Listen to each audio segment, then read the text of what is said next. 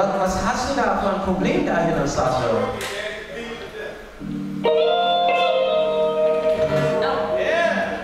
Die neue Definition von Cheerleader.